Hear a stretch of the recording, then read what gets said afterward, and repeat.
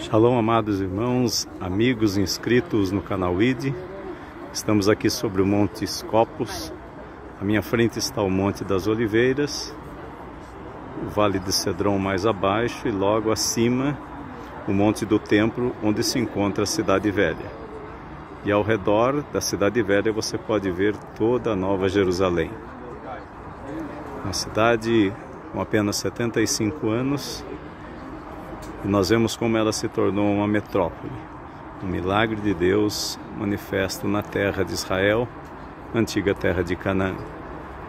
Louvado e agradecido seja o nome do Senhor, o nosso Deus. Eu só queria complementar que atrás do Monte das Oliveiras, lá atrás daquela torre, estaria, está a cidade de Betânia, onde Jesus ficava na casa de Marta, Maria e Lázaro